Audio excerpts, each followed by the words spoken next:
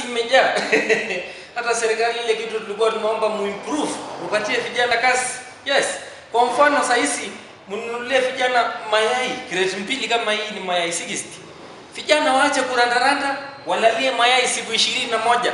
Sinatoa kifaranga 60 baada ya wiki tatu imekuwa kubwa ianze kutegana. Kwa hivyo tuhesabu vijana ni wangapi yenye yetu alafu wanunuliwe mayai kireti mbili mbili. Yes alafu walalie. Na mambo yatakuwa mzuri.